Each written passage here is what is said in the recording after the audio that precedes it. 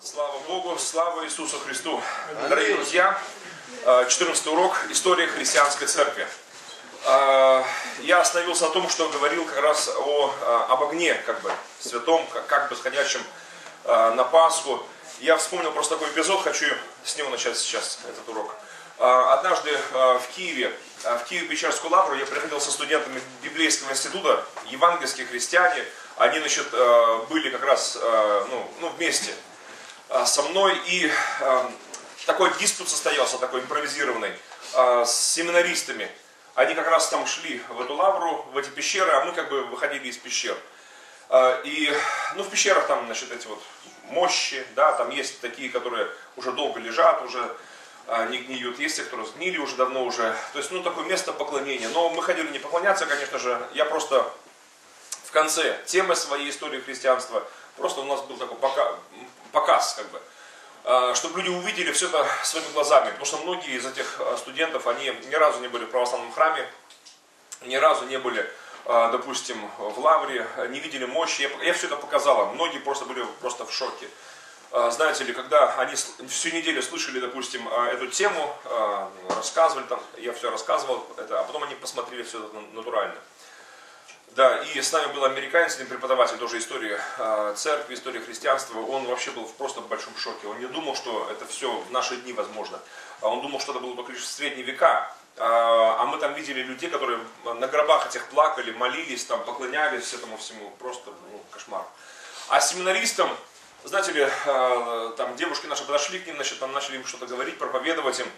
Они в шоке, сектанты в лавре, значит, стали проповедовать им как бы и вот один из семинаристов сказал, что вот наша вера истинная, у нас правильная вера, не агитируйте нас как бы.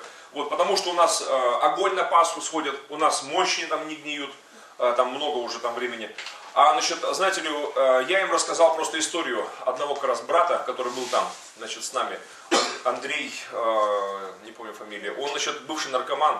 Я рассказал эту историю его, как он э, умирал от наркотиков, как э, он был уже, по сути, покойником уже его мозг потерял форму свою, его в больнице держали как растение уже, он не соображал ничего, ни как его зовут, не знал, никого не узнавал, никому был не нужен, родня от него открещивалась. Значит, и у него были кости больные, но самое страшное, что его мозг, он потерял свою форму давно уже, значит, и врачи говорили потом, что у него был в голове кисель просто и все, значит, потерявший свою форму. Значит, и плюс еще кости гнили, гнили заражение крови, кровь переливали ему, но не помогало ничего, и он стал чернеть, весь распух, стал черным, большим, толстым. Значит, и его привезли к родственникам, чтобы он умер, там, как раз это было в Мариуполе, в Донецкой области. И родственники не открыли даже двери, его врачи просто на простыне возле мусорки оставили и уехали. Ну, такие вот истории, их очень много, к сожалению, вот по Мариуполю, по э, Донецку, по Луганску, я знаю, много таких, к сожалению, историй таких страшных. И вот, значит, и э, его оставили э, мычащего, там, стонущего, вот умирающего на простыне возле мусорки, бросили, знаете, никому не нужен, все, кусок мяса загнивающий. И, значит, и проходили ребята, значит, там Свет Миру и какая-то еще церковь, молодежные церкви, э, бывшие наркоманы, там алкоголики, э, тунеядцы, то есть вообще народ там какие-то собрались такие, что вот как бы и, и, ну, Бог там чудеса такие совершал вообще. Я у них бывал как-то в кинотеатре, там они собирались тогда, значит, ну, такая живая церковь молодежная вообще, слава Богу. Бог переделал вообще людей там очень сильно. Ну, конечно, шедевром там был, э, э, это Андрей тот самый. Дело в том, что он не умер, представьте себе, они приволокли, прямо этой простыне его, приволокли к себе на квартиру, там неподалеку была э, бывшая варочная квартира, значит, наркоманская, значит, э, где э, у них проходила домашняя группа, значит, там, значит, и туда приходили наркоманы и бывшие, и еще практикующие, значит, там, и за них молились, ну, такая жизнь такая кипела прям. И, значит, и я там просто потом бывал уже не раз в Мариуполе после этого. И вот общался, много слышал рассказов таких. И вот э, за Андрея молились, чтобы он пришел в себя, чтобы он смог услышать Евангелие, чтобы хотя бы умер, но по-человечески, чтобы значит, услышал и принял Христа. И Бог совершил чудо, он пришел в себя. Он, это невероятно, совершилось уже чудо. Он вспомнил себя, кто он такой, э, он осознал, что он сейчас умирает, что с ним все так плохо, он стал как, ну, как такой толстый негр такой весь был, говорит, значит, и что, что с ним произошло такое, и ему рассказали о Христе, и он услышал эту благую весть о Христе, и покаялся, и не умер, там братья рассказывали, что говорит, у них не было веры в то, что он выживет, но думали, чтобы он хотя бы умер по-человечески. Вот знаете ли, но, а, значит, и потом ему стали рассказывать, видят, он не умирает, они дальше молятся там, а он там что-то стонет, что-то говорит им. Вот, и они стали это говорить ему дальше, у нас есть для тебя еще одна новость. А, мало того, что Бог тебя простил сейчас, но э, Христос еще не только за твои грехи пострадал, но и э, ранами Его мы исцелились. А, значит, и, и ты можешь исцелиться Его ранами. И я скажу, что через, у него потрясающее свидетельство, конечно, через там три, по-моему, месяца, два-три месяца, он пришел к этим врачам, что его на простыне возле мусорки бросали там, за справкой устраиваться на работу. Вообще бред какой-то. А, врачи там в шоке, младший медперсонал там в обморок бросался. Вот, думали, тот Андрей уже сгнил в могиле, его знали очень хорошо, а, там в этих клиниках всяких, там и в этой больнице прекрасно знали. Растение просто, просто растение. Ага. Живое теперь растение, знаете ли, за справкой пришел. Значит, и на своих двоих, значит, и не толстый, значит, значит, и не черный, значит, и вообще с мозгами, видимо, нормально, потому что он рассуждает, говорит. И вот, значит, ну там еще были у него отклонения, некоторые были еще проблемы были, но уже нормально ходил вообще, э, двигался. А у него же суставы были гнилые. Э, как он мог двигаться вообще? Невероятно вообще. Э, одним словом, да, и у него были все гепатиты какие-то там разные. Значит, и много всего у него было. Его когда обследовали, признали его совершенно здоровым. А, но самое невероятное было с его мозгами. А, его мозг восстановил форму свою, абсолютно новую, а, как будто бы он не был больным человеком никогда, значит, то есть здоровая форма здорового человека, здоровый мозг.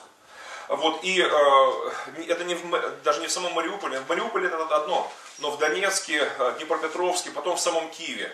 И там, значит, уже когда значит, какой-то академия или, или кто он там, значит, в Киеве в самом, обследовал его всего и все это проверял, смотрел, а, то, значит, он сказал, что молодой человек, а, вам нужно ну, свечку ставить точно Богу, потому что говорит, это точно, это чудо, говорит, точно чудо, потому что говорит, невероятно, потому что у него перед тем там, там ну, десятки раз там проверяли, все у него в мозгах было кисель, в голове кисель был, а здесь здоровый мозг.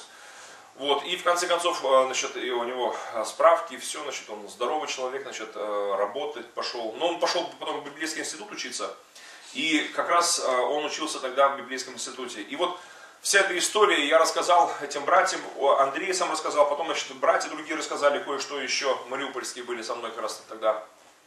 И вот эти семинаристы, которые перед тем говорили об огне на Пасху, о мощах негниющих, об иконы плачущей, знаете ли, они стояли с такими лицами, это надо было видеть, красивые лица. Они смотрели, потому что они вот, ну, знаете, с настоящим, с Божьим чудом соприкоснулись. С Божьим чудом.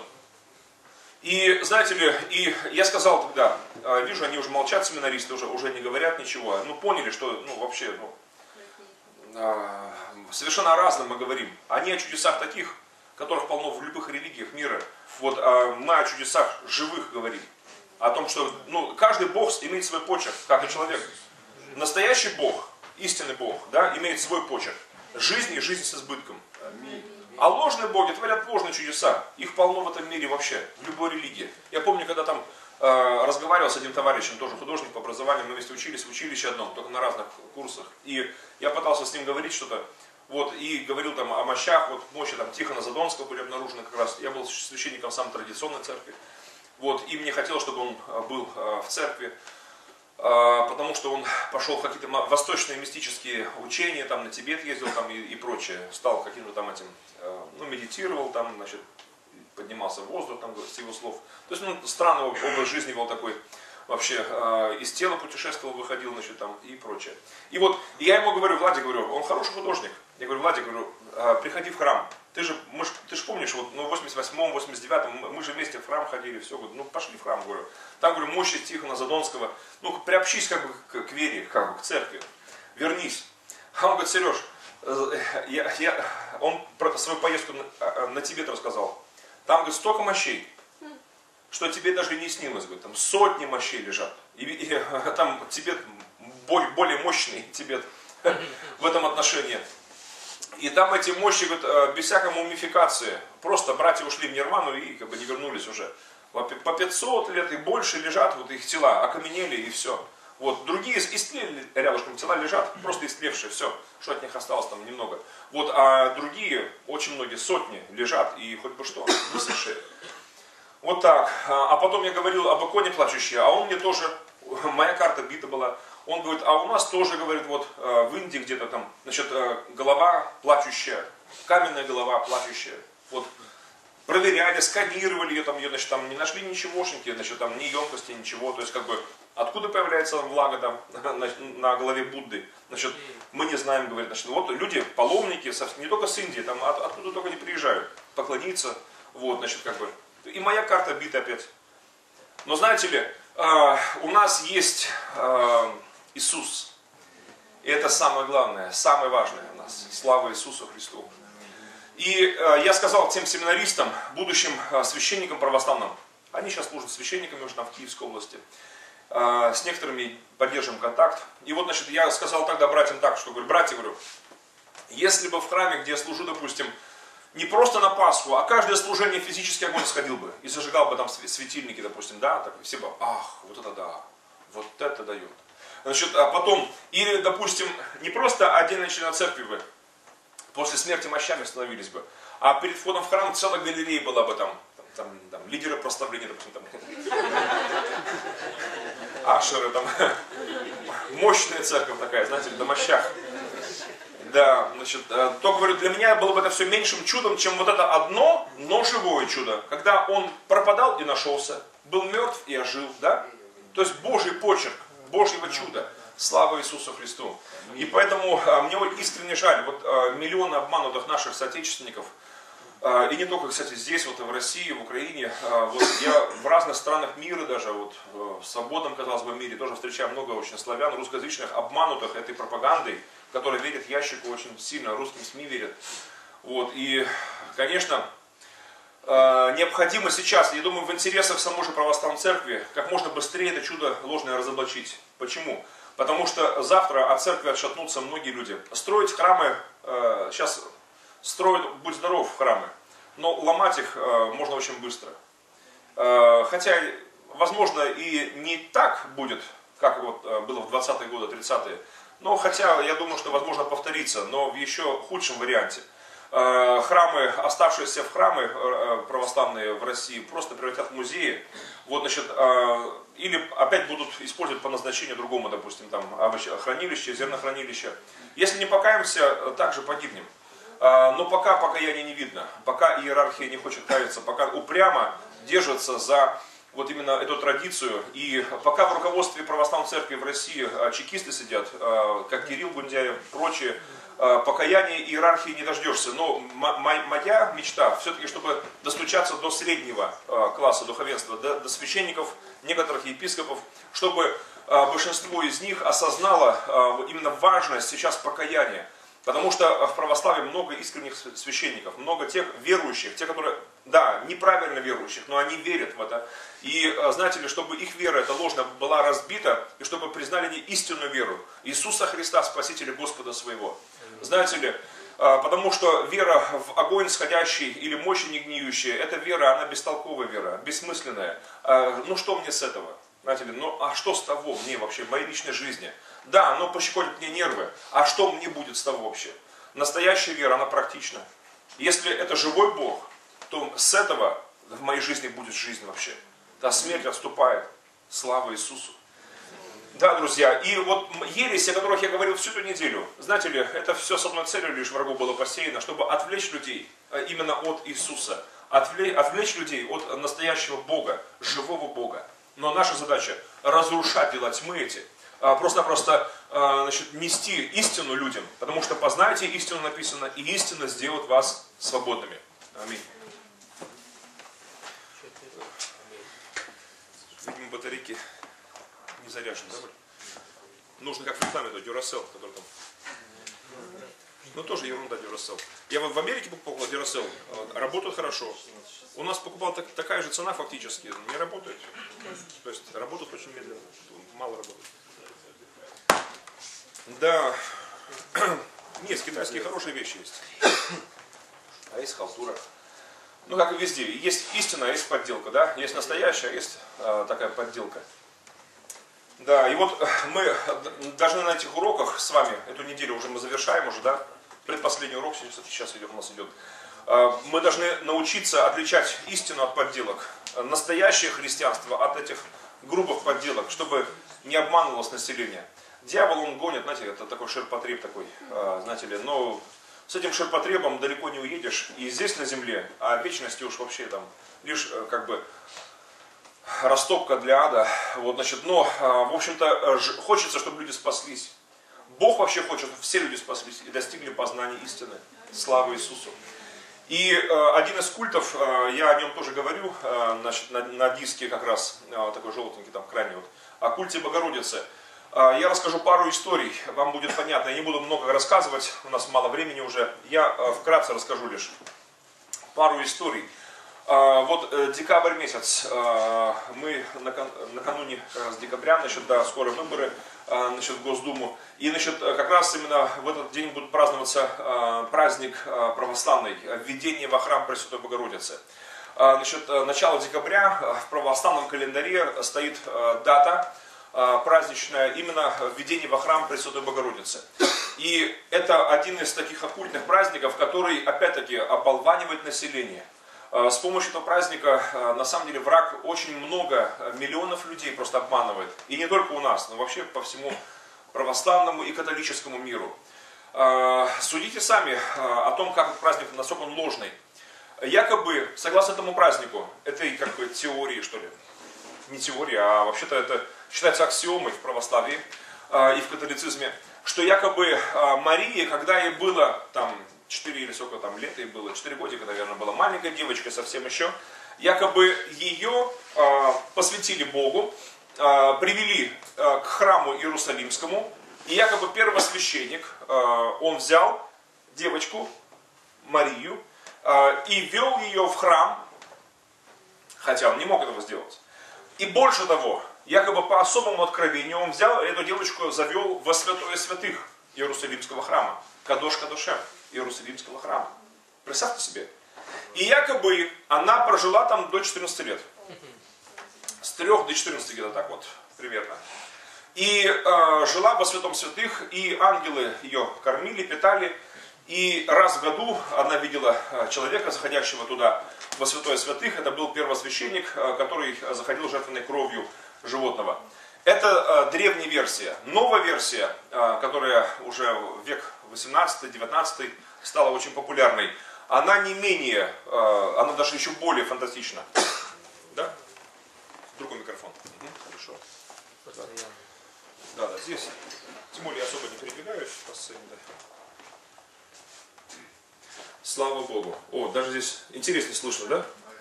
Мне так больше нравится. Как-то моложе голос, да. Точно. Помолодел сразу. Да, господа. Так вот, и якобы, а, по новой версии, а, Марию в тот же самый день первосвященник вывел из этого святого святых, но поселили ее возле храма, и она, Мария, маленькая эта девочка, ходила каждый день молиться во святое святых Иерусалимского храма. Каждый день, не даже не в сам храм, а именно во святое святых Иерусалимского храма. Это новая версия. Других версий этого праздника нет. А, значит, э, обе версии не выдерживают никакой критики абсолютно библейской, а, ничего общего со здравым смыслом нет а, в этом. Значит, единственное, для чего этот фантастичный праздник нужен, чтобы обманывать миллионы душ, чтобы взгляды людей духовно были устремлены на Марию, но на самом деле такие праздники, они не возвеличивают Марию, они позорят Марию. А, позорят имя Марии, позорят а, Матерь Иисуса Христа. А, я убежден, что если сейчас воскресить Марию и Матерь Иисуса Христа, Господа нашего, и дать ей возможность выступить в этих храмах, там, Парижской Бога, Матери, да? значит, там, Успенский собор Кремля, там, Московского, значит, там других соборах выступить, посвященных ее имени как бы. Особенно на Руси очень много этих веденских монастырей, веденских храмов, именно посвященных этому празднику. Монастыри женские очень часто посвящаются ведению, празднику введения во храм. И, конечно, если бы Марии выступить в этих храмах, она, что бы она сказала? Я убежден, что она просто разоблачила бы эту ересь, сказала бы, господа, братья и сестры, молитесь Господу. То, что Он скажет вам, слушайте Его. И, э, конечно, э, вот еще я упомянул праздник Успения. Успение это уже финал жизни Марии. Как бы считается, что она э, умерла и воскресла. А в католической церкви считается это доктриной вообще веры. Э, в православии нет такой доктрины, в православии нет такого как бы, значит, учения, ну, как бы официально. Но есть вера в то, что это правда. Как бы, это вера большинства православных считается. Якобы Мария, даже, даже есть праздник Успения Богородицы, об этом говорящий, что якобы э, Мария, когда умер, э, да, перед смертью якобы пришел ангел, опять Гавриил пришел, и опять с таким же приветствием, радуйся благодатная, Господь с тобою, она в шоке, что опять... Нет, так, это мое уже, мое предположение, мое прочтение. Вообще-то, ну, она была опять смущена, написано, ну, я понимаю, чего смутилась, но надо же на старости лет опять слышит знакомое до более приветствие. А, и опять а, знакомого ангела, который не состарился никак абсолютно, значит, а, и, но уже к престарелой Марии явился. Просто Мария, это можно так назвать, сериал такой. И вот, значит, и якобы Гавриил успокоил Марию, сказав, что на этот раз а, у него другая миссия, другое послание. А, на этот раз у него послание именно по ее душу, что пришло время ее смерти. Все, я забираю тебя в вечные обители. То есть, ну, пошли. Но она почему-то попросила отсрочку. Может быть, завещание оставить, я не знаю, значит. Но она сказала, дай мне отсрочку. Я хочу еще побыть еще немного на земле. Э, ангел э, говорил, значит, переговорил с кем надо, э, значит, и сказал, ну, для тебя есть исключение. Обычно, вообще-то, ну, мы не делаем таких исключений, но для матери Господа, значит, можно сделать исключение. Но не больше двух недель тебе на сборы, как бы, вот, значит, на общее приготовление. Две недели. И потом говорил, сказал, если еще плюс еще бонус такой, вот, допустим, ты, может, что-то хочешь еще дополнительно к этому, мало ли, и э, говорил, э, значит, услышал такую просьбу необычную. Мария сказала, она очень хочет э, напоследок попрощаться со всеми учениками Иисуса Христа, э, которые к тому времени разошлись там с проповедью, и хочет с ними переговорить. Но вернуться им за две недели это нереально. Э, поэтому говорил, сказал, хорошо, я сделаю э, то, что значит, ты попросила. В течение там, часов я извещу их. Э, и ангелы доставят их прямо в Иерусалим. Хорошо, здорово. Ну, а тебе, Мария, чтобы ты э, не забывалась, мало ли, значит, э, да, значит, вот тебе веточка из рая, ты будешь смотреть и готовиться. Э, хорошо, Мария приготовлялась, э, значит, ангелы на самом деле доставили в Иерусалим, как бы, как считается, всех апостолов, всех, кроме Фомы.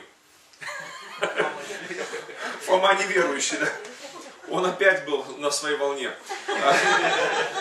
У Фомы, видимо, были проблемы с верой опять, значит, да, он э, либо не доверял средству передвижения, либо он испытывал духов, я не знаю. Протестант. Протестант, да, слушайте. Нет, ну каково, представьте, ангел, значит, здесь проповедуешь служение, допустим, вдруг ангел, и полетели в Иерусалим, кто его знает. И вот, значит, э, ну, Фома прилетел, но попозже, уже опоздал, уже после похорон прилетел. Э, и вот, значит, но все апостолы нормально прилетели, значит, и они, э, как бы, увидя друг друга, обрадовались, значит, что бы это значило. Мама им сказала, что я уже все, значит, ну, ухожу в вечные обители, значит, вот вам веточка. Израиль, значит, подтверждение говорил, вот, все организовал. Это прощание, это банкет и вообще. И вот, значит, она попрощалась с учениками, и все, умерла, значит, э, ее положили э, в такой, ну, как бы гроб, э, Значит, да, а перед тем, кстати, записан еще такой инцидент интересный, здесь на иконах он рисуется часто, славянских старых иконах, не без антисемитских таких значит, вкраплений. Якобы там один ортодоксальный иудей, значит, увидев похороны матери Иисуса, сказал, о, это, значит, случай испортить праздник, или не праздник, ну, как бы, мероприятие, и он как бы подскочил как бы к этой процессии и хотел опрокинуть, значит, ну, то, на чем лежало тело, тело Марии.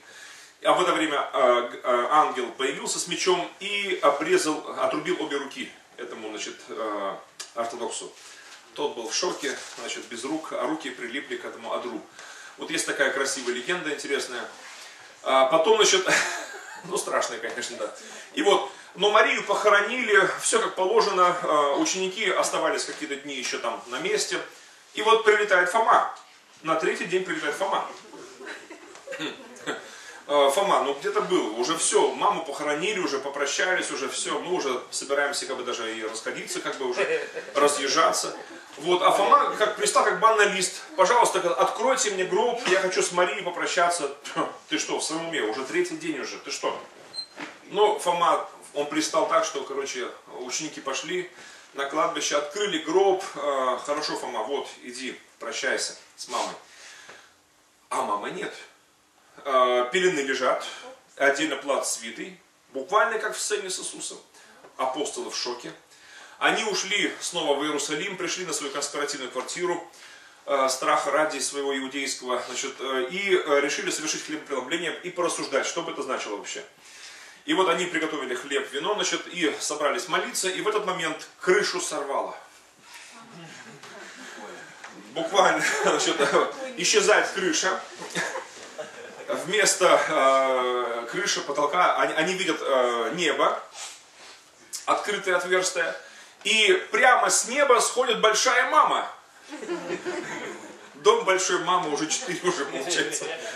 Я бы так бы начинал бы эту съемку, бы, если снимал бы Дом большой мамочки. Но третий они неудачно сняли. Мне первые два очень нравятся фильмы.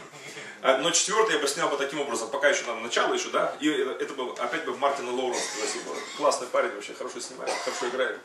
Так вот, э, Дом большой мамочки 4. Но я бы сделал маму черной бы все-таки. Значит, э, и э, мама сходит значит, э, туда, прямо в собрание апостолов. Апостолы в шоке. Они не то с перепугу, не то с откровения какого-то особого хлебопреломления во имя Марии совершают. И кушают хлеб, пьют вино. И Мария говорит им, что вот я как бы воскресла, якобы я вознеслась уже на небеса, и якобы я, Мария, теперь посылаю вас, идите по всему миру, значит, учите все народы, крестя их там во имя Отца и Сына и Святого Духа, буквально повторяет слова Иисуса и говорит, что вот как бы сейчас все и начинается. И якобы апостолы вот с этого момента они осознали все вообще, как бы им стало ясно. Э, иерархия усложнилась якобы. Теперь Мария одесную своего сына. Уже сын это одно, но теперь мама, она а, возле сына, и теперь она решает все вопросы, и уже теперь уже не христианство, а марианство, по сути, начинается. А, история марианства. А, конечно, вот такая история была незнакома первым христианам, и слава Богу, что, значит, знаете ли, первые верующие не знали об этом ничего. Слава Богу, что, значит, первых, ну, как бы, быть поточнее, но пять столетий точно, первых 500 лет христианства не знало такой ереси, и слава Богу. А, это ересь более позднего происхождения, но до сих пор праздник Успения отмечается. А, Римо-католики, а, западная церковь католическая, приняла решение даже объявить это догматом веры, аксиомой.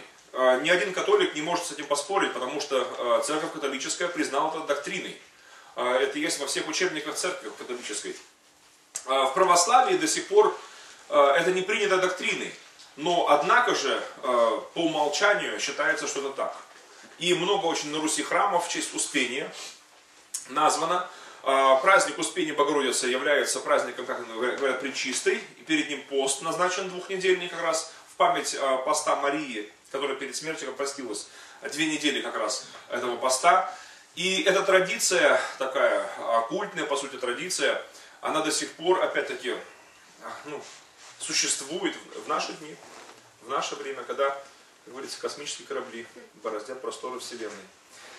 Да, вот такие, друзья, мои истории. А, думаю, того, что уже прозвучало, достаточно, чтобы понять, что э, большие проблемы в церкви, но выход есть. Этот выход сам Иисус Христос. Выход есть, и я убежден, что э, сегодня Бог хочет, чтобы очень много людей, православных, католиков, я много проповедую среди и католиков тоже, среди православных, среди католиков. Э, на Западе я в основном среди католиков проповедую, э, но проблема примерно одна и та же. Что в западной церкви католической, что в православной восточной. И значит, сейчас у нас получается предпоследний урок. Слушайте, времени очень мало. Я хотел бы с вами вместе еще кое-что вспомнить из истории христианства, назидательное. О реформации 16 века упоминал уже, но не упоминал о том, что в православии тоже были попытки реформации. Э, через сто лет после Лютера, Лютер в начале 16 столетия, помните, да? да? А это в начале 17 следующего столетия была попытка реформации на Востоке православном, в православном мире. Это был патриарх Кирилл Лукарис. Запишите его, пожалуйста. Патриарх Кирилл Лукарис патриарх Кирилл Лукарис, э, он патриарх Кирилл Лукарис. Э, в начале 17 столетия э, он поднял знамя реформации в Стамбуле, в бывшем уже Константинополе. Там он был патриархом, патриархом вселенским. И патриарх Кирилл Лукарис, его называют часто историки даже Кальвином в Новом Риме. Потому что вообще Стамбул, Константинополь это как Новый Рим. Э, и почему его так называют? Потому что э, этот патриарх, он был на самом деле большим реформатором. В 1632 году он издал свою книгу. Это было как бы программа реформации православной церкви. Эта книга называется «Восточное исповедание христианской веры», 1632 год. Но уже вскоре после этого, в 1938 его казнили. В 1638 по приказу султана Турецкого его э, казнили. И также репрессировали многих э, священников греческой церкви православной, сторонников реформации на Востоке. Султан Турецкий, он считал себя покровителем не только правоверных мусульман, но и православной церкви. И для него смута, реформация это была как смута, это как революция какая-то внутри церкви. И поэтому ну, патриарха Кирилла Лукариса казнили. А вообще был уникальный человек, был, конечно. А, а в чем смысл реформы он видел? Во-первых, ну, несколько пунктов можно записать. Вообще потрясающая книга, вот это вот «Восточное исповедание христианской веры». На латинском и на греческом языке она была издана тогда и сделала большой шум. Потому что он, православный патриарх, предлагал, по сути, вернуться к первой модели христианства, к раннему христианству, вероучении. Он предлагал, ну не во всем, но почти во всем. Допустим, отказаться от многобожия. Э, предлагал церкви православной, э, и иерархии, и народу отказаться от посредничества кому бы то ни было другого, помимо единого и неповторимого посредника, первосвященника Иисуса Христа. И Кирилл Лукарис в своей книге «Восточное исповедание христианской веры» однозначно утверждает, что один лишь есть ходатай, посредник, первосвященник, это сам Иисус Христос. Что нет других ходатаев, что и вера в других ходатаев, посредников, это вымысел, это ложь. И слава Богу, что хватило у него мужества это все а, значит, написать. Вообще, Кирилл Лукарис был очень просвещенным человеком. А, он в свое время лечил, э, лечился, извиняюсь, учился у... Некрасивая ошибка. У Галилея, у Галилея, а, значит, и вообще на Кипре родился, учился на, на Западе, потом мучился в Африке, будем так говорить, был там служителем, священником, потом в Западной Белоруссии, в Бресте, значит, из Африки, прямо из Африки в командировку в Брест, представляете? Не ближний свет, не было самолетов тогда. Так вот, и потом вернулся в Африку через Украину, был, значит, в Африке был епископом, и патриархом э, африканским, Александрийским, э, он перенес кафедру с Александрии в Каир тогда, и центр э, православия на востоке был город Каир как раз в то время. Потом он переехал уже в Константинополь, в Стамбул, и его избрали патриархом вселенским, патриархом значит, в Стамбуле. И вот, будучи патриархом уже там, в Стамбуле, патриархом вселенским, он как раз и поднял знамя реформации. Потом, что еще он предлагал? живопись в церквях оставить, но не поклоняться ей. Он предлагал э, живопись оставить лишь иллюстративного характера, не для поклонения. А само поклонение иконам э, он считал именно откровенной ересью. Почитание икон считал ересью. Э, и для греков это было очень тяжелым, конечно, ну, заявлением, потому что э, большинство священников э, к патриарху стали относиться чуть не как вот протестанту, э, значит, э, на троне патриаршем. И э, Э, почитание икон было сплошь и рядом тогда. Целование икон, перед иконами остановились на колени, ну как всегда вот православные и сейчас совершают традиционные. И патриарх с этим боролся. Он заявлял, что это все от непросвещения народного и священники непросвещенные. Школа библейская, семинария тогдашняя заработала в столице. И был куплен им печатный станок. Это была сенсация для Стамбула печатный станок значит, появился на Востоке православном. Никогда еще такого там не было. Значит, это было диковинкой такой. И станок работал постоянно, потому что печаталась Библия, ну, Новый Завет печатался, по крайней мере, и печатался Новый Завет на греческом, новом греческом языке. То есть э, перевод был сделан э, на современный тогдашний греческий язык уже, э, со старого греческого. О чем говорил Кирилл Лукарис еще? А,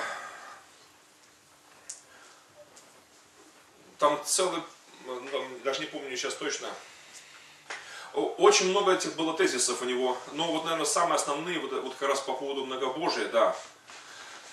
А, по поводу чистилища, по поводу вот этих мытарств, то же самое он писал, что это есть э, учение не наше, не христианское, которое пришло в христианство. То есть он как бы, по сути, и здесь очень сильно, ну, как бы, нажил себе даже много врагов на этой почве. Особенно из Бейрута, а, значит, тогдашнего Берии, а, был значит, епископ тоже Кирилл, значит, который митрополит, который очень рьяно выступил как контрреформатор, против реформации. Кстати, он был следующим патриархом, потому что султан турецкий именно контрреформатору доверил патриаршу престол потом. Так вот, э, а такой большой реформации на Востоке не было православном, к сожалению. В православном мире, э, вот как в западном, не было большой реформации, но были попытки другие. На Руси, э, я вчера немного упоминал о крещении Руси, да, Русь была крещена, но не просвещена. К сожалению, у нас ну, нечем похвалиться. Проханов Иван Степанович, один из апостолов евангельского пробуждения, сто лет назад писал, примерно следующее, что вот за первых 9 столетий христианства на Руси так и не прозвучала проповедь э, Евангелия. Э, очень страшные слова, но правдивые слова. А чего греха таить? Э, наше христианство первых 9 столетий было фактически именно темным, мрачным и безбожным христианством. Не, не евангельским, даже антибиблейским христианством. Хотя были, однако же, были на Руси те, кто, несмотря на этот мрак, э, хотели видеть свет Божий. Искали Бога. Богоискательство было, богоискание было. Те же самые в Новгороде, в Пскове, те же самые стригольники, кто, может, слышал об этом, стригольники, да, жидовствующие, 15 век, время Ренессанса, на Руси тоже была именно попытка искать Бога, найти Бога. О стригольниках мало что известно. Но известно, в чем их обвиняли, почему их казнили в то время. Инквизиция на Востоке, ну, в православном мире, была не менее сурова, чем на Западе. И на Руси, Киевской, Московской, особенно потом уже Руси, когда центр был уже Владимир, потом Москва, инквизиция достигала, ну, на самом деле, апогея. Хотя слово само инквизиция, оно родилось вообще-то не на, не на Западе, а на Востоке вообще-то. Это было в Константинополе, Э, в 381 году, еще в конце 4 столетия, э, на, на Втором Вселенском соборе. Э, в те времена как раз это слово впервые оно прозвучало и стало модным очень. Буквально означает расследование, это слово, инквизиция. И тогдашний, даже это не священники начали слово говорить, а употреблять, а власти, император Феодосий Великий, он говорил это слово инквизиция, повторяя, что церковь должна проводить расследование ереси, исследовать и наказывать значит, еретиков. Казнить именно их. В Фессалониках были, была устроена резня большая тогда, значит, и считается это первым в истории христианства именно инквизиторским процессом, когда значит, очень много людей было казнено, как оказалось, просто по подозрению в измене, там, заговоре, религиозном, политическом, но официально их казнили как отступников, как еретиков, не слушавших церковь, как бы. Значит, и резня тогдашняя конца IV столетия была первым процессом инквизиции. Затем значит, были другие моменты, но вообще-то само, само вот, зловещее название инквизиция во всеуслышание было объявлено на Западе римскими папами, и в средние века оно использовало это слово, чтобы значит, на самом деле ну, проводить расследование. Допустим, если ты приходил в церковь, в костел там на Западе, да, в Западной Европе, если ты был католиком, и э, священник на исповеди узнавал от тебя, что так и так, что ты значит, э, не верил в какие-то там догматы веры. Тебе трудно было верить. Э, священник мог тебя убеждать, но если даже потом э, как бы не действовали э, доводы эти, то священник должен был сообщать куда надо компетентным товарищам из Доминиканского ордена Инквизиции, которые в подвалах монастыря тебе объясняют, что ты не прав. знаете ли. И э, лучше платить сразу. А, допустим, к примеру, те, что не хотели за индульгент заплатить а, поначалу, то значит, к ним тоже были репрессии, очень довольно жесткие репрессии. Да, как был скандальный случай в Европе западной, когда значит, а, собор, один из западных католических собраний епископов, решал вопрос какая голова Афанасия Александрийского истинная, какие не истинные. Потому что было три головы в Европе, выдаваемые за голову Афанасия Александрийского. И, значит, и все три головы а, были привезены крестоносцами и значит, имели сертификаты, значит, там подписи, все, печати генералов э, ордена. А, то есть, как бы, ну, подлинники, как бы. И ни один из монастырей не хотел отступать, потому что куча паломников приходила к голове Афанасия Александрийского. И вот и собор принял одно из самых э, ну, тупых, глупых решений за всю историю христианства. Признать все три головы истинными. Представляете? И современный комментатор, э, католический, кстати, монах э, из Москвы, францисканец, пишет, наверное, они подумали отцы так, что это первая голова Афанасия в молодости, в зрелости, а потом в старости. Ну, вот такая история. Но, а, а вопрос такой, неужели в Европе, ну, как бы, не было умных людей, которые говорили, не может быть. Вот, вот с такими занимались инквизиторы. Объясняем, что они не правы. Скажут три головы, значит три головы. Скажут десять, значит десять. Если скажут прыг, прыгать, лишь спрашивай, на какую высоту прыгать. И все. И э, э, особенно э, вот эти вот, знаете ли, э, во времена уже реформации, когда начиналась контрреформация, да, были такие иезуиты, а, значит, это как папское КГБ такое, да, а, спецслужбы рождались такие католические для борьбы с инакомыслием и прочее. У, у этих монахов вообще было и есть только лишь, ну, как, ну, первый пункт у них, да, самый главный пункт их веры, что папа всегда прав. Римский папа всегда прав. Как в армии, да? Да. А пункт второй. Если папа не прав, смотри пункт первый. И все. Да, значит, и поэтому а, вот эти вот ангелы смерти, они а, ну, совершали и совершают очень много преступлений, к сожалению. А, так вот, и это как бы черная гвардия папы. Главная задача с самого начала и по сей день, в принципе уже 21 столетие, за пять столетий ничего не изменилось. Борьба с реформацией во всех ее управлениях. То есть главная задача значит, этого ордена по, по сей час. А, то есть заставить людей а, держаться вот этих старых доктрин, а, ложных доктрин. И поэтому орден один из самых таких демонических орденов. Я, значит, мало соприкасался с этими ребятами, но скажу, что даже тех немногих опытов общения мне хватило вот так вот понять, что это как бы КГБ отдыхает вообще.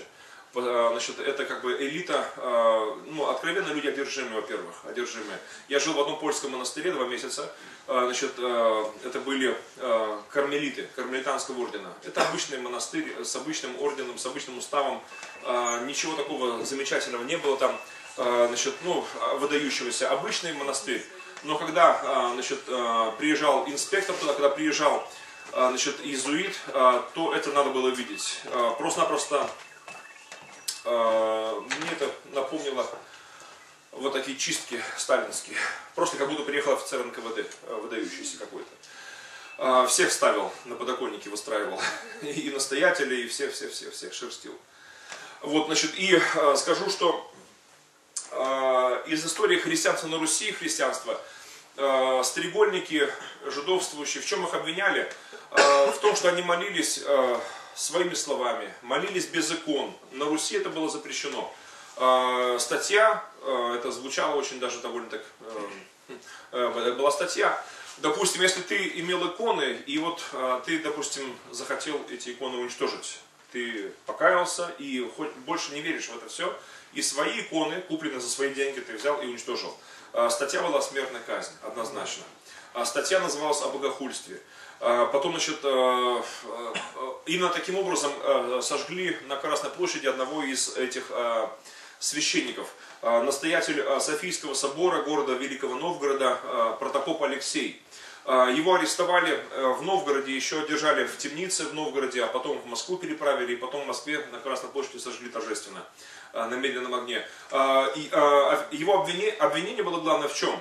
Его задержали по доносу, значит, потому что донесли архиепископу Геннадию Новгородскому, что так и так вот э, протопоп э, значит, у себя во дворе э, иконы рубит и палит.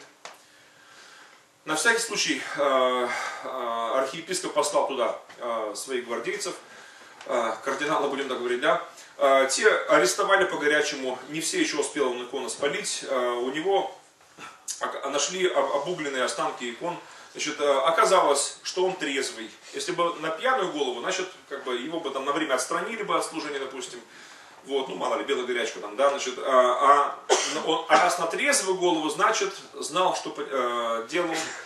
И это была уже смертная статья. Но его не казнили в Великом Новгороде, потому что Геннадий Новгородский решил э, узнать, э, что дальше. Потому что наверняка он имеет э, таких единомышленников в Новгороде. Началась охота на ведьм. Э, арестовали его семью, его слуг и пытали э, в подвалах монастыря. Там, значит, некоторые под пытками выдавали имена, пароли и явки. Оказалось, в Великом Новгороде и даже в Пскове э, целая сеть конспиративных явочных квартир. Начались аресты, снова арестовывали людей, бросали в казематы, монахи их пытали. А, те выдавали имена другие, и а, начались новые аресты, а, новые пытки, и так, как снежный ком, все это росло, вначале в Великом Новгороде, потом и в Пскове. Оказалось, при обысках в этих домах, где молились эти люди, не было икон. А это была уже все статья. Потому что если люди молились без икон, это уже статья была по тем временам. Вот, а потом, они молились своими словами. И они не молились Богородице Святым, они молились только лишь Богу. Это, была уже, ну, кримин, это был криминал а, для православной церкви. А потом, тем более, во главе этой структуры стоял никто иной, как настоятель а, Софийского собора города Великого Новгорода. Протопоп. Не, не обычный сельский поп, а протопоп. А, то есть старший священник. А, и также он был не один поп, который а, вообще до Петра Первого на Руси называли священников попами. А слово папа, отец. Значит, а, и называли поп, допустим, поп, а жена его попадья, да? Вот, значит, старший поп был протопоп, его жена протопопица. Вот, допустим, житие, житие протопопа Авакума, кто читал, может быть, да, это один из шедевров. Э, э, значит, древнерусской словесности, и он там пишет, а протопопица моя Анастасия, там, что, что дальше там, Аку, Аку медведица, говорит, э, или Яко медведица. Значит, и, в общем-то, видимо, такая была большая у него матушка, я так понял, если медведица. Или он так образно представлял ее такой большой. Значит, и, в общем-то, ну, там непонятная история. И вот, значит, и, а старшие протопопы их называли попище. Попище. Допустим, в старых документах, там, значит, э, новгородских, псковских, московских, там написано попище Василий, допустим, и печать своя там. Все, попище. Да. Может быть, есть еще протопопище, не знаю. А или мегапопище. Гипер, гиперпоп. Да. Суперпоп. Да. И вот, значит, э, э, оказывается, некоторые попы, эти священники, они имели вот такие вот, как бы там, домашние группы. Но самое страшное, что напугало очень церковной власти, было даже не это. Самое страшное, что оказалось, что на этих э, встречах, на квартирах, э, в домах частных, да, э, они читали Евангелие. Это было самым страшным. Потому что здесь уже пахло откровенной ересью. Э, значит, не в храме, не на богослужении, а в домашних условиях, частным порядком люди читали Евангелие. А, значит, э, и поэтому аресты были массовыми, и эм, убийства были, э, значит, э, ну, на самом деле, не сотни, а тысячи людей в Новгороде, в Пскове были казнены. На кострах жгли, на дыбах, многие погибали просто под пытками. Вся вина была, в том, этих православных христиан, что они читали Евангелие, слышали Евангелие, молились своими словами, молились без икон. Вот главное обвинение в их адрес. Их назвали стрегольниками, других жидовствующими называли. Э, первую волну реформации там в Новгороде назвали стрегольническим движением. Почему? Потому что первый, кого арестовали по этому вопросу, был стрегольник, парикмахер по-русски, по имени Карп и его товарищ диакон церкви Никита. Э, их обоих казнили, бросили с моста Волхов и утопили. Но казни были в Новгороде очень довольно-таки популярные по этой статье. Потом вторую волну этого пробуждения в Новгороде и на севере назвали ересью жидовствующих. А почему? Потому что а, уже нельзя было списывать на то, что вот больше столетий боремся с одной ересью, не можем побороть ее. Поэтому было придумано другое название, якобы это другая как бы, уже волна, ну, другое движение как бы. Хотя это было то же самое в принципе. А почему жидовствующими? Потому что а, э, такая легенда возникла, что якобы э, один еврей, э, даже предполагает, что это был раввин э, из Киева по имени Схария или Захария, он переехал на ПМЖ э, Великий Новгород значит, и совратил попов новгородских в ересь. А, значит, почему? Потому что значит, э, обвиняющие вот этих Алексея, Дионисия, других там протопопов значит, новгородских, а, значит, э, так рассуждали, что они не могли же наши русские попы сами вот в такую ересь попасть. Видимо, здесь еврейский какой-то заговор. Видимо, евреи здесь руку приложили свою. Тем более вот этот Захария, почему там его там тоже казнили-то, а, еврейского этого равина, он был очень странным раввином. А, дело в том, что в Великом Новгороде было мало евреев, а, несколько семей всего. Цель переезда была неясная, тем более, что он общался не с традиционными иудеями, именно не со своими, казалось бы, соотечественниками, ну, с евреями, а общался с попами. В то время была статья за подобное общение. То есть ты не мог дружить с евреем, общаться с евреем, получить подарки от него, тем более, если ты был священником. Но для священника смертной казни не было, для священника а, было лишение, пожизненное лишение священного сана за подобное значит, знакомство, дружбу, принятие подарка, совместное мытье в бане, значит, там что-то еще. То есть там ну, как довольно подробно было расписано, что нельзя делать. Вообще от еврея нужно подальше было держаться. Тогда вот, любой контакт с евреем он мог принести тебе большие проблемы. Но если это делал не священник, а, а именно обычный прихожанин, допустим, да, а, обычный православный христианин, то его ждала смертная казнь за это по статье. А, то есть дружба с евреем заканчивалась костром, дыбами, казнью. О судьбе еврея не пишут, потому что это было по умолчанию тоже казнью было. Значит, но пишут о судьбе христианина, который имел общение с евреем. Тем более иметь общение с еврейским раввином. Почему священники, протопопы, настоятель Софийского собора, главного собора Великого Новгорода, рискнул своей карьерой всей, да, его не казнили бы за это, потому что казнили бы евреи только лишь за это, а его бы не казнили, но его пожизненно бы лишили священного сана и служения. Он был бы простым значит, человеком после этого.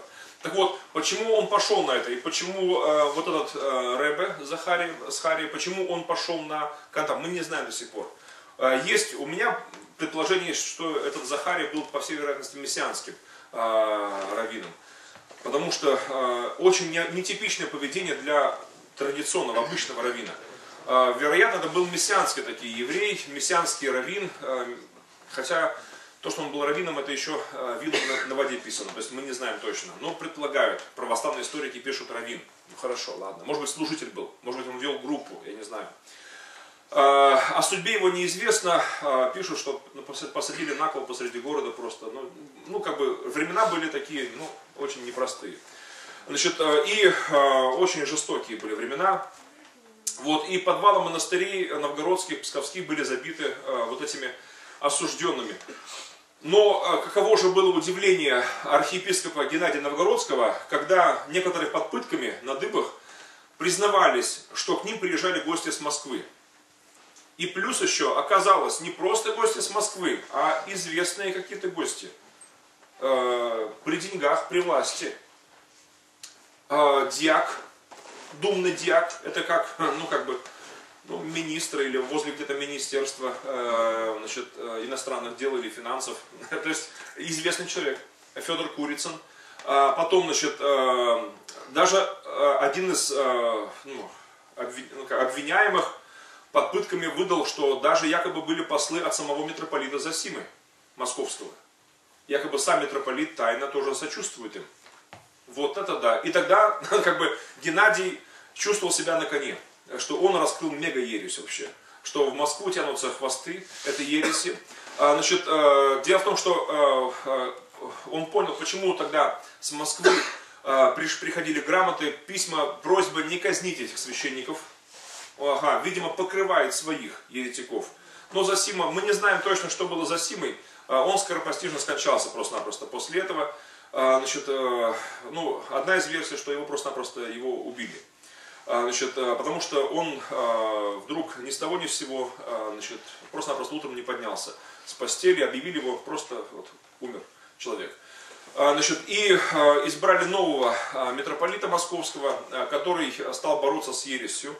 И костры запылали по всей Руси матушки тогда уже. А Засима он всячески пытался инквизицию эту остановить, чтобы а, дальше Новгорода и Пскова не распространялась эта зараза, и чтобы а, не, было, не были казни массовыми. На Красной площади при нем очень мало кто пострадал, но после смерти Засимы Красная площадь была залита кровью там, сотен и тысяч людей православных, которые читали Библию, которые имели свое мнение, молились своими словами, и горели костры очень часто тогда.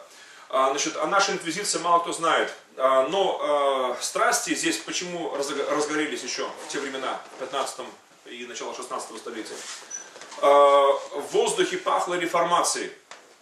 В это время в Европу лихорадило. В это время по всей Европе, по сути, Господь готовил реформацию большую.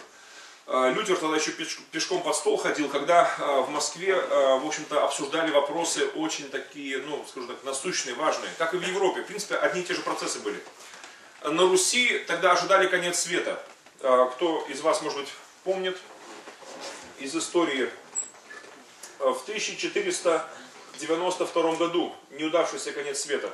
Значит, это, это было просто очень ну, такой сенсацией большой.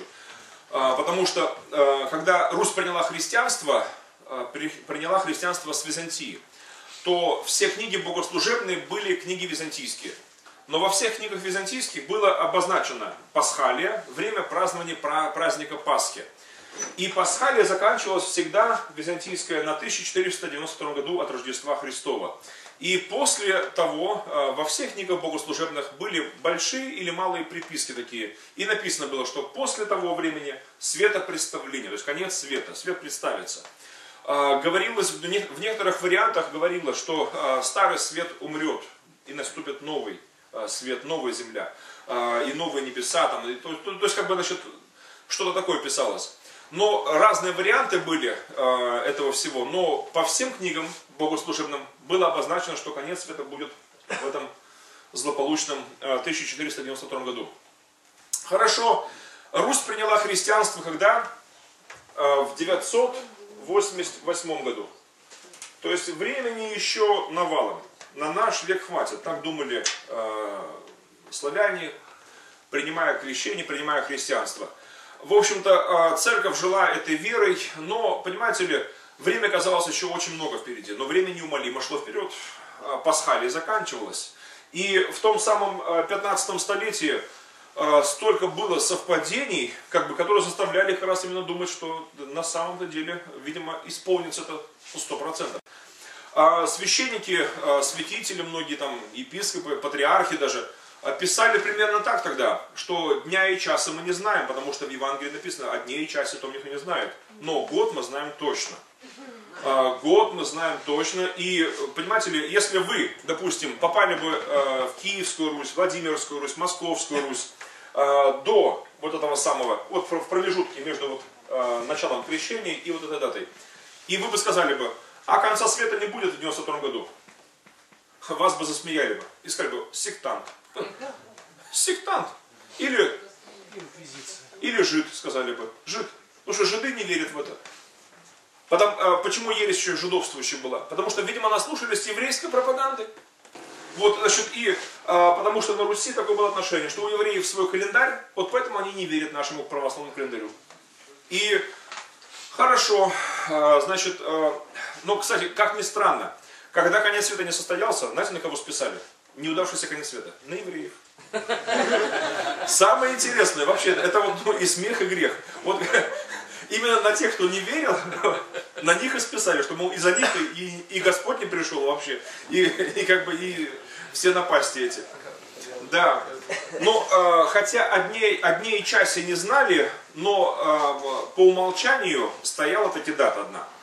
Э, значит, даже не одна дата. Но была версия, что это будет праздник Благовещения 1492 года. Была другая версия, что это будет как раз э, после Пасхи. Э, третья версия после Дня Пятидесятницы, э, после Троицы. То есть разные были мнения, но в принципе э, единодушно процентов 99 э, всех россиян тогда считало, что э, в этом году точно будет конец света. А, какие страшные знамения были? Ну, в мире христианском падение Константинополя, да, окончательное падение Константинополя. А, самый главный храм православного мира стал мечетью. Султан Магомед въехал в Константинополь на коне как победитель, и столица была названа Стамбулом. Э, э, и сказали так, все, Магомед, этот э, султан, это антихрист, он въехал в святой город, значит, мечеть стала, ну, храм стал мечетью, и все, падение царства Константинопольского, Византийского царства. На Руси это восприняли просто как апокалиптическое такое событие вообще.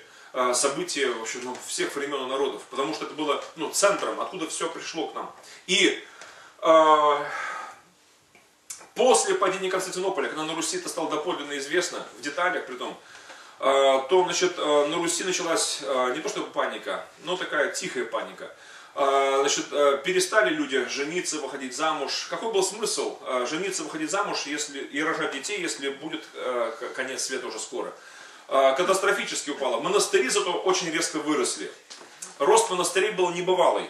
Люди хотели нас, э, под конец э, вымолить свои грехи, э, быть значит, в святости. С другой стороны, и разбойные люди умножились, написано. То есть, ну, как бы разбой на дорогах. То есть, люди по-разному реагировали на конец света. Это, как помните, «Комсомольская правда» в 90-м или 91-м, 91 году, я думаю, сделал опрос такой в Москве. Что бы вы сделали, если бы знали, что завтра конец света? А, и самое интересное, многие отвечали, знаете, знаете, как москвичи тогда? Отвечали, ящик водки и закроюсь в квартире. А, притом очень многие отвечали примерно таким образом. То есть люди по-разному как бы, значит, реагировали на известие конца света. И вот, а, что произошло? Конец света он не состоялся, но за два года до предполагаемого конца света, в 90-м году, в Москве было решено собрать собор как бы вообще, как предлагалось, последний вообще в истории ну, человечества. Потому что все, время заканчивается, время фи финиш. За два года, в 90-м году в Москве собрались епископы, и на соборе выяснилось, что не все разделяют, оказывается, э, несмотря на то, что книги православные все говорят об этом, не все разделяют эти мнения. Кстати, те, кто не разделял эти мнения, считали еретиками и отступниками. Их называли на соборе жидовствующими.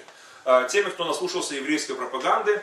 Э, и я не знаю, какого мнения был э, великий князь Московский, трудно судить вообще. Но я думаю, что он не особо, может быть, даже и верил в этот конец света, я не знаю. Трудно сейчас судить, но его поступки были интересны очень. Э, он поддержал большевиков на соборе. На соборе были две фракции, большевики и меньшевики. Э, значит, ну, я так условно их назвал. Вообще-то они назывались совсем по-другому. Большевики это, они назывались тогда иосифляне или иосифляне последователи или сторонники Иосифа Волоколамского. А меньшевики это были нестяжатели, их называли на Руси. Это были, ну, во главе этой фракции был Нил Сорский, Васян Патрикеев и другие там братья. То есть две фракции образовалось, выяснилось. Ну, еще третья, это те, кого репрессировали, это жидовствующие, собственно. Вот, но из спикера были вот две фракции. Так вот, и большевики, так условно их назвать, во главе стал Иосиф Волоколамский, Иосиф Волоцкий. Этот официально святой православной церкви, это был инквизитор, еще тот. Именно он убедил впоследствии великого князя Московского, после неудавшегося конца света, когда были все в растерянности и начиналась паника, и значит, мародерство, и, потому что голод, люди запасы все съели, никто не рассчитывал на следующий 93 год, поэтому семян не оставляли, подъедали все под, под конец. Последние запасы, последние закрутки, соление, варенье, все подъедалось, одним словом, все. Дальше конец света. И редко у кого было пропитание в то время, и цены резко поднялись, голод наступил на Руси. Хотя не было засухи, не было там проявленных дождей, все было нормально. Здесь были проблемы. В сердце было, и в уме, в уме была засуха. И, значит, и, а, так вот, и а, что произошло? Кстати, не голодали только лишь евреи, а, которые делали большие запасы, понимая, что куда все идет на Руси, делали запасы продовольствия большие, и они могли продавать, могли значит, иметь деньги с этого. Вот, а, потом, и те православные, которые поверили а, евреям, либо, либо осознали, что, а, видимо, что будет большая проблема у нас, потому что по всей Руси просто бардак начинается. Бунты знаменитые начались как раз в то, в то время. И чтобы толпе было хорошо, чтобы народ, э, да, разочарование в церкви было великое в то время, э, православной церкви, потому что вот конец света не состоялся, ведь сколько поколений верило в это все, и вся вера оказалась ложной, тщетной. Э, так вот, новгородский, кстати, поп Агафон такой был, он предположил, что конец света будет позже чуть, мол, вышла ошибка на 70 лет. Он составил пасхалию на 70 лет вперед. Но его уже не слушали. Агафона освистали, даже в самом Новгороде его серьезно не слушали. А, Геннадий Новгородский приказал, чтобы не было больше никаких споров а, после этого на тысячу лет вперед просчитать. То есть сегодня Пасхалия есть а, в православной церкви до 2492 года. Но с того самого времени это единственный случай в истории православия назначения ложного конца света. А, а истоком послужили ложные пророчества, которые были а, тогда у святых отцов а, еще ну, 6, 7, 8 столетие, вот те далекие времена. Еще до крещения Руси это было все. В Византии придумано, кому-то было откровение, ну как кому-то, это были десятки очень разных отцов, больших и малых, малоизвестных и очень известных, которые повторяли эту ересь. Ложное пророчество. Кстати, конец света состоялся все-таки какой-то. Может быть, было пророчество нормальное, просто вы не так истолковали потом, не так поняли. Потому что именно в 1492 году Колумб открывает Америку. До того самого 1492 года э, люди думали, что только лишь вот эта земля есть земля. Не знали про существование второго полушария. Не знали, что там есть материк. Не знали, что там есть земля. Вообще, вообще, развитие цивилизации что здесь. Там терра инкогнита. Земля неизвестная вообще. Представляете? И я думаю, что, ну, у меня предположение такое есть, возможно, были византийцы, э, в Византии было какие-то пророчества нормальные, что будет ну, старый свет, и что э, христианство, центр мирового христианства потом перейдет в новый свет уже, как получилось в США, вообще Америка. И знаете ли, что интересно? Я думаю, что просто было неправильное истолкование этого пророчества и неправильное его потом употребление. Э, очень э, слишком э, много для совпадения такого, будем так говорить. И, кстати, когда христиане поплыли туда в 1620 году, пилигримы, да, вот вчера был день благодарения, значит, праздновался в США как государственный праздник, во многих странах мира, где много протестантов, это отмечалось не на государственном уровне, но на уровне церквей, общин. Вот наша церковь тоже присоединилась к этому празднеству. И последний четверг ноября значит, отмечается как день благодарности Богу, да, день благодарения. И в 1620-м, когда со старой Англии люди поплыли, рискуя своей жизнью на видавшем виде, Mayflower, корабль был уже, по сути, уже отработавший свое, люди плыли не богатые, люди плыли на последние порой деньги, не от хорошей жизни поплыли они. Потому что в старушке Европе люди сгорали на кострах инквизиции, э, свирепствовала инквизиция. Верующим надо было найти место. Либо их вообще полностью истребят, либо они найдут себе пристанище. И э, они приплыли туда, и первая зима была ужасна, э, люди погибали от холода, голода, и, значит, но выжили. И Бог дал им первый урожай хороший, и в 1621 уже э, осенью э, совершился первый праздник благодарения на новом континенте. Э, значит, Бог расположил сердца дикарей, там, индейцев, значит, там, и вообще дал возможность выжить, им закрепиться там и потом распространиться. Слава Богу, это, ну, это чудо, считаю. Есть провиденциальная такая предыстория образования Америки, провиденциальная. Но началось это все как раз еще в 1492 году. Колумб открывает Америку. И вот для... у нас время? У нас как бы осталось. Полдесятого, если заканчиваем еще. Сейчас 10 минут. Да. 20 минут. До конца вообще. До конца вообще? Да вы что? Работаем. А, я- я понял. А я ни колокола не слышу, ничего. Я думаю, у меня еще время еще достаточно. Оказывается, совсем уже. Так, эм, да, мало времени. Давайте я вам э, расскажу боль, ближе к нам историю. Ближайшую к нам историю уже. Хотя я очень люблю историю христианства на- в Северной Америке, вообще, вообще в Америке, очень люблю эту историю. В некоторых школах библейских, особенно в США, я как раз эту тему как раз раскрываю. История образования нации э, с разных народов, когда люди верующие и образовали один новый народ. И вообще это, ну, это было потрясающе. То есть рождение народа было потрясающе на самом деле. В, в духовном пробуждении формировался дух американского народа. Вот это, это было ну, просто бомбой э, в истории цивилизации человеческой вообще. Вот, и, но это отдельная история. Вернемся э, в Старый Свет, вернемся сюда, э, в это полушарие. А Что было здесь? И вообще в России, в частности, мы все знаем, вот конец света прошли, да, все. Но что было после того, после неуда- неудавшегося конца света? Наверное, были зрелищные события такие, допустим, старобряческий раскол, староверческий раскол, да, это тема такая тоже немного жутковатая, правда. Э, В 1666 году, одна из самых таких роковых дат в истории э, значит, э, христианства на Руси, кстати, вот интересно совпадение, три шестерки к ряду, кстати, Э, значит, э, поэтому легко запомнить. Э, Почему одна из самых роковых дат? Э, Значит, ну, после конца света неудавшегося, это самая роковая дата. Потому что именно в 1666 году в Москве состоялся собор, который э, просто-напросто ну, расколол тогда церковь. Э, И э, по вине этого раскола, ну, больше миллиона, как считается, историками, россиян, украинцев, белорусов пострадало. Чаще всего людей сжигали, топили значит, и убивали другими видами казней. Красная площадь была завалена отрубленными рук- руками, головами, значит, и вообще-то было жуткое время очень.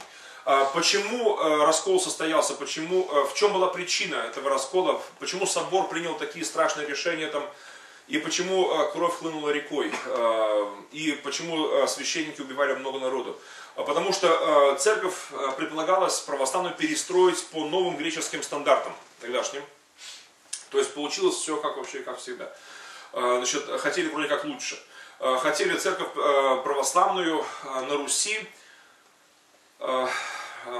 привести к стандартам греческим, греческой церкви. Для чего это надо было, до сих пор не ясно. Есть версия, есть много разных предположений. Борис Кутузов, один из историков, э, предполагает, что значит, э, именно вот э, историк больше старобрячества как раз, предполагает, что это были э, политические э, причины, э, потому что э, русские цари, ну, в частности Алексей Михайлович, э, тогдашний русский царь, э, значит, отец Петра Великого, Петра Алексеевича, э, замышлял ну, в, царь, в Царьграде воссесть однажды, э, в Софии, э, значит, убрать э, оттуда э, мусульман, турок, значит, и значит, э, распространить царство туда, в Царьград. Но как бы это утопия, скажете вы, но однако же об этом есть исторические ну, документы, в принципе, подтверждающие, что это была не просто э, как бы идея там одного-двух э, людей, а на самом высоком уровне просто решался. А, Но как бы и потом эта идея, она ну, как бы так существовала дальше. А, Сейчас, допустим, кстати, вот с тех времен, а, с того самого 17 столетия, а, другая еще теория такая есть, а, были такие пророчества, они до сих пор сохраняются в православном мире. А Сегодня они распространяются вообще с небывалой силы, кстати, что эти ложные учения в православии, они говорят о том, что Антихрист сядет в Иерусалиме э, в храме, а русский царь пойдет войной на Антихриста и спасет мир от Антихриста. Э, убьет Антихриста и поразит значит, э, значит, э, Иерусалим и захватит Иерусалим. Значит, то есть, по сути, э, то, что мы слышали э, в Библии о, и читали, да, э, о земле Роши, Машеха, Фувала, э, земле, э, значит, э, это все исполнится, ну, согласно православным пророчествам, э, совершенно по-другому. А Что таки э, состоится именно э, захват Иерусалима значит, и освобождение от Антихриста. В книге «Россия перед вторым пришествием» об этом там очень много информации, в других некоторых книгах. Ну ладно, я давайте не о пророчестве, давайте скажу из истории православия после этого раскола страшного, когда значит, староверы, нововеры. А чем староверы отличаются, в принципе, от э, новообрядческой церкви, старообрядческой? Ну, казалось бы, очень незначительно, да? Э, дв- Два перста, там, креститься двумя перстами, там, тремя перстами, но, но не только в этом дело, конечно. Дело в том, что еще, на самом деле, здесь политика очень серьезная, потому что э, новообрядческая церковь, будем так говорить, или нововерческая церковь, да, в отличие от староверческой, старообрядческой, э, значит, э, она более цезарепопийская. Э, Сын Алексея Михайловича, Петр Алексеевич, Петр I, он идею отца он воплотил дальше. И э, он э, вообще объявил о синодальном правлении в церкви, Э, начиная с Петра Алексеевича, в своде законов Российской империи, в 16 томе свода законов Российской империи было, где как раз говорилось о связях и об, об отношениях с, э, религиоз, с религией и политикой, говорилось в преамбуле, что э, глава церкви его императорское величество. Э, Значит, и так было до самого 1917 года. Потом в церковных документах, церковный регламент, устав церковный, также было обозначено, что глава церкви его императорское величество, или их императорское величество. И поэтому, скорее всего, вот эти массовые убийства, это геноцид своего же народа, э, ведь шутка, шутка ли, порядка миллиона, даже некоторые пишут больше миллиона э, было репрессировано. И сегодня староверы в основном проживают в Австралии, в США, в Канаде, в Латинской Америке, даже в Африке есть общины староверческие. В Австралии я посещал э, древнейшие старообрядческие церкви, которые там существуют. Э, Между Мельбурном и Сиднеем э, просто ну, десятки больших таких вот, ну, поселков, э, именно староверческих, старообрядческих. Э, Я познакомился с одним священником, но я с ним знаком был еще в Москве когда-то. А В 92-м, наверное, году я с ним познакомился. А, Отец Тимофей такой, а, он сам а, ну, коренной австралиец уже, а, его пра-пра-пра-пра дед еще там конец 17 начала 18 столетия при Петре Первом э, выехали, они э, бежали э, с России от репрессий, бежали через Китай э, и э, значит, э, на острова, а с островов уже Индонезии в Австралию. И Австралия стала их второй родиной, и они там э, так и остались, и они уже как бы уже, уже коренные австралийцы. Значит, и, в общем-то, э, посещал там я э, общины, я удивился, многотысячные общины австралийские, э, вот именно старообрядческие, староверческие общины. Вот, и как бы они сохраняют во многом там культуру, там язык, допустим, но, но у них э, очень строгие правила, что ну, в России не, возвращаться, потому что они знают, что там будет антихрист. Вот как бы у них, у них такие понимания, то есть ну, вероучительные понимания такие. Вот, и э, я с отцом Тимофеем разговаривал на эту тему, и он открывает мне вдруг Библию и говорит, вот земля Роша, Машех Фувала. Отцы наши, которые в конце 17 века уезжали, они говорили, что это исполнится буквально. Вот, и они верят в это, они знают это. Вот еще по, тем временам. То есть они, э, староверы, многие все-таки они Библию как- каким образом открывали для себя, потому что их отцы, их працы, они Писание читали и понимали эти тексты именно так, как они говорят. А, Но новообрядческая церковь, нововерческая церковь, она приняла другие доктрины, что якобы антихрист будет значит, э, в Иерусалиме, значит, и мы пойдем войной и спасем мир от антихриста. Вот э, сегодня говорят так, что э, Россия спасет мир, как раньше спасла мир от коричневой чумы, теперь спасем мир от антихриста. Так что живем в интересное время, господа. И еще скажу, что после Петра Алексеевича, после Петра Первого, Конечно, церковь переживала очень серьезные времена, но были попытки реформации и сверху, и снизу. Э, Запишем, давайте некоторые имена. Я мало кого э, сейчас вспомню, хочу вспомнить, вернее, э, перед вами сейчас, но некоторые имена мы запишем. Во-первых, Ломоносов. Ему в эти дни как раз исполняется 300 лет со дня рождения, кстати. Э, И это известнейшее имя в России, э, одно из самых известных имен. Но э, я, кстати, в Архангельске проводил э, вот месяц назад э, семинар и посвятил его как раз 300-летию Ломоносова. Почему? Потому что о Ломоносове как об ученом много говорят сейчас, но а как о реформаторе я даже не слышал. В этом году я следил за публикациями и не слышал, чтобы о нем так говорили. А а ведь на самом-то деле его а, переживание Бога для христиан это ну, очень даже важно сейчас это вспомнить. Потому что неверующие люди, они его имя используют а, в своем. А, Даже коммунисты, безбожники, да, его использовали имя значит, а, для того, чтобы как бы показать, что он чуть ли не а, атеист, чуть ли не коммунистом был вообще, там, с наганом в руках вообще. Бред. А, Он был в поиске Бога, да, он, он не был особо набожен, а, потому что а, религия православная а, ему не, а, ну, не по нутру была. А, значит, хотя он изучал жития святых, учения святых отцов, а, немного даже а, в Киеве изучал, ну в Москве в спасских школах это сто процентов изучал отцов церкви. Но это не дало ему ответа на его вопросы. Ответ он получил через Евангелие, это было в Германии. И там, значит, а, кстати, а, в Германии очень сильно уважают Ломоносова. Я посещал, значит, в Марбурге, в других городах, значит, вот эти костелы старые, и там во многих, не костелы, а кирхи, да, значит, университеты некоторые посещал, и как турист, и как гость. И знаете ли, и там очень часто я, ну, ну, может быть, раз 20. У меня даже на фотографиях это есть. Э, Значит, и на Mail.ru у меня там на страничке там больше 80 тысяч фотографий с этих разных поездок. Э, Значит, 80 тысяч уже больше. И, значит, и там э, порядка из них, там, тысяч 10, наверное, это с Германии фотографии разных. И вот, и там, значит, как раз мест, места, ломоносовские места фотографировал. Вот, и, значит, и э, э, он переживал Бога именно там. Э, и его главная идея Ломоносова, что касательно христианства, он увидел, что его, его сверстники в Германии находятся в очень выгодном положении э, по сравнению с, с, э, э, россиянами, потому что они могут слышать э, Библию на понятном им языке, читать на немецком простом языке. Потом уже в России, будучи, он писал примерно следующее, что вот этот церковно-славянский, мы его не понимаем. Это было в 18 столетии. Сегодня 21 столетие уже. Но по-прежнему на старославянском проводится богослужение, представляете? Но Ломоносов не только э, принес эту идею, как бы, нет, он э, не просто там критиковал, нет, абсолютно нет.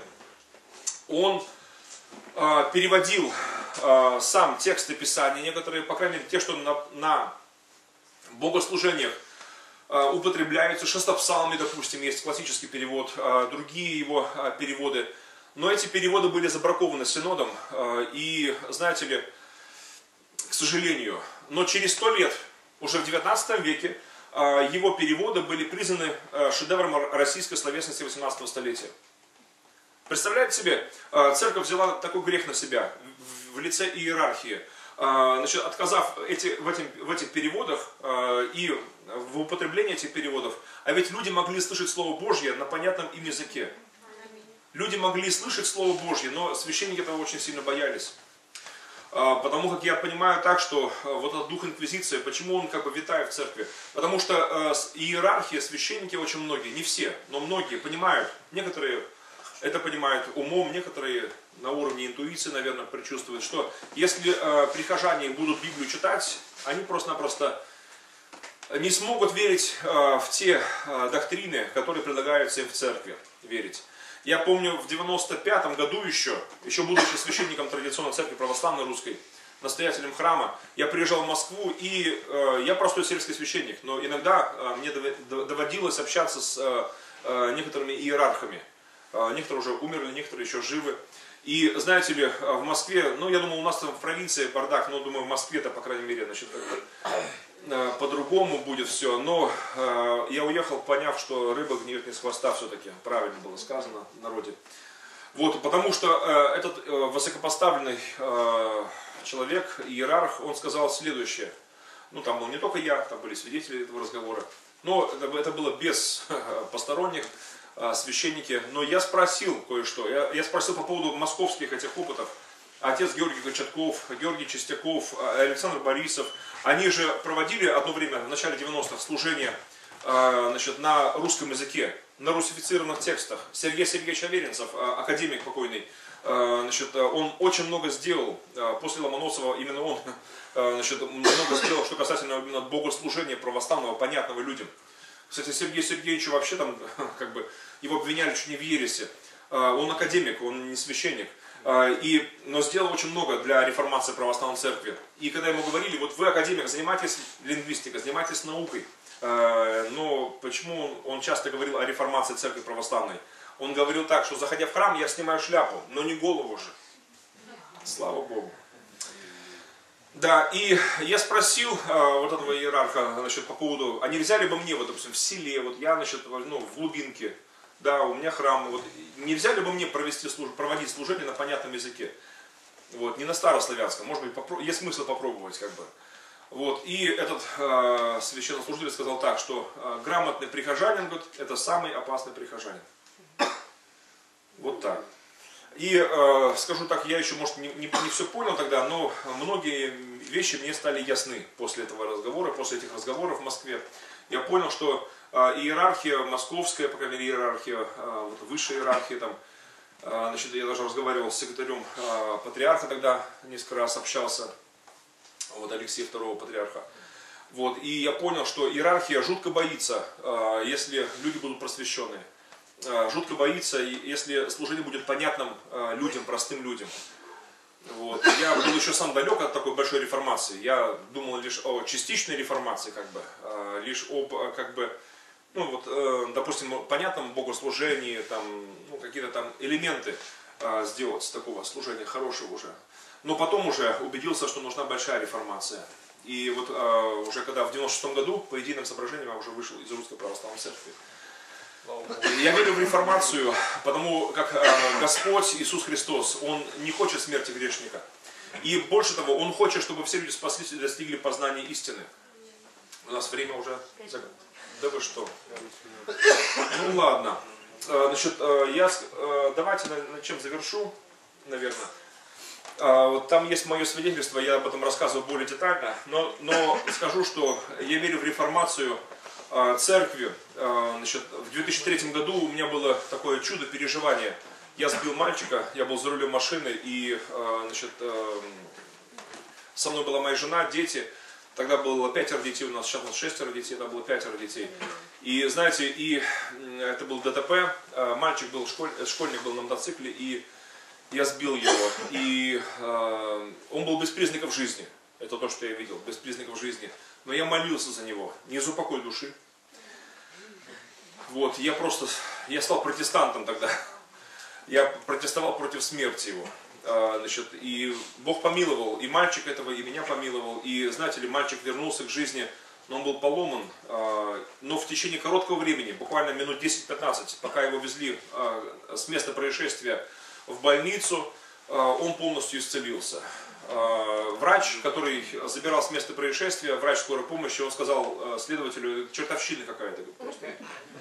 Он сам не верующий, но он, он сделал такой вывод, потому что говорит, на нем кровь оставалась-то, и кровь его кровь, мальчик кровь, но значит, все, как можно за 10-15 минут зарасти, значит, кости срослись, а ведь кости там разошлись, как, знаете, как арбуз переспелый треснул. А, голова треснула, лопнула у него, значит, там, и там мякоть клокотала. Это. И как могла за 10 минут срастись кость, а, кожа срослась, ни синячка, ни царапинки, ничегошеньки. А, но это то, что видел врач, и то, что видели другие люди, и то, что видел я. Но то, что видел потом хирург, это было вообще просто шоком.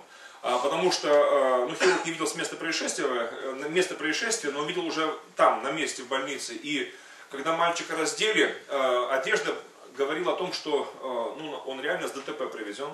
А удар был сильный, мотоцикл не подлежал восстановлению, он что такое внедорожник, значит, на скорости, значит, там, ну, в такой самодельный мотоцикл-то. И, э, а мальчик с одного села в другое село через трассу э, пересекал, э, значит, Сороков сбежал. Не только он, там еще другие были мотоциклисты, потом подъехавшие.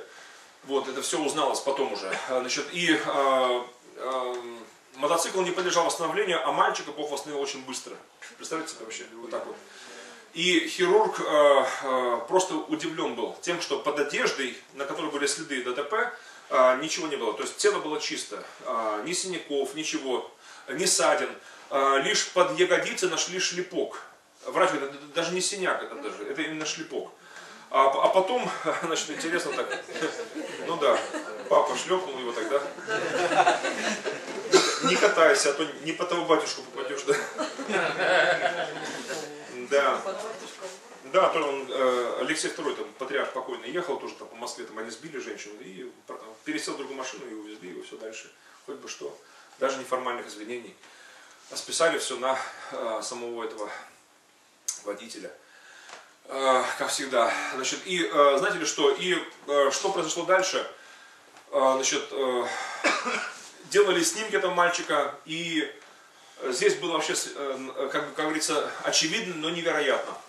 А, потому что э, этого мальчика хирург узнал, и мальчик отвечал адекватно на все вопросы. Мальчик признал, что это не ошибка врача, на самом деле он лежал у них в хирургии, лежал с переломом уже, э, тоже было связано с мотоциклами у него. И, значит, и перелом зажил у него тот очень хорошо с первого раза, но врач сказал так, что как бы хорошо не зажило, свет на снимке должен быть обязательно от старого перелома, по крайней мере.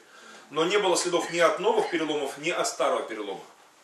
А, то есть э, за эти вот минуты Бог исцелил полностью мальчика, восстановил кости его, как будто не ломались никогда. Ни гематом, ничего. Но я вкратце завершу только э, свидетельство, но большое такое. Я слышал голос э, уже ночью, уже по сути, потому что допоздна там все это затянулось. Когда мне вернули документы, следователь сказал, что ну это просто, как говорится, das ist fantastisch. просто как бы. Вот, значит, и потом значит, э, если что, мы вас известим как-то, значит, там, а врач сказал, оставим мальчика еще в больнице, может, что проявится еще. Вот, ну, там как бы... А врач сказал перед тем, э, я слышал сам, как он говорил со следователем, что э, мы даже то, что по дороге писали, надо было все стирать, потому что, в общем, даже не можно написать сотрясение мозга, потому что у него такой аппетит у него, он там, значит, санитарки, медсестры повели его там в столовую, там поел там хорошо. И вот и представьте себе, ехал уже поздно, мы возвращались обратно в Киев, домой, и э, что получилось? Я слышал голос. Знаете, я слышал очень громко голос. Я не слышу голоса, я нормальный человек, значит, э, но слышал очень громко. Это один раз у меня было в жизни такое. Перед тем, у меня, скажу, ну, как у многих верующих, наверное, были переживания такие. Да, я слышал голос Бога, но это было тихо, как моя мысль была. Это не было в уши, это не было громко. Э, это была как мысль, но это была не моя мысль, явно это было Божье Слово в мою жизнь. Один раз во сне, э, даже, можно сказать, два раза даже, во сне, когда я слышал голос, я понимал, что Бог говорит. Но, но вот так наяву и так громко, как будто бы в машине резко включили громкую музыку, и даже за пределами машины это все слышно прекрасно было, как мне так казалось. Хотя жена была со мной в машине, она ничего не слышала, оказывается. Э, я даже не спрашивал, я думал, она 100% слышит все это. Уже на следующий день уже дома, когда мы рассуждали о том, что произошло, я удивленно узнал, что жена ничего не слышала, абсолютно, оказывается. А голос э, буквально гремел именно. Э, он такой был громкий, но голос сказал три раза одно и то же. Это было коротко, но очень сильно. Он сказал, ты это видел? Представьте, у меня куча вопросов, а он на все мои вопросы одним вопросом отвечает. Три раза. Я подозревал, что он еврей, но не до такой степени. Знаете, и при том, и при том э, так громко и с, с такой интонацией, как, знаете, как будто старый еврей говорит. Вот я общался со многими стариками, у меня вот э, такое ощущение было, как будто говорит старый еврей, и очень громко так вот. А, значит, и три раза одно и то же было сказано, вот ты это видел, и каждый раз я только лишь одно мог говорить ему, да, Господи, говорю, или да.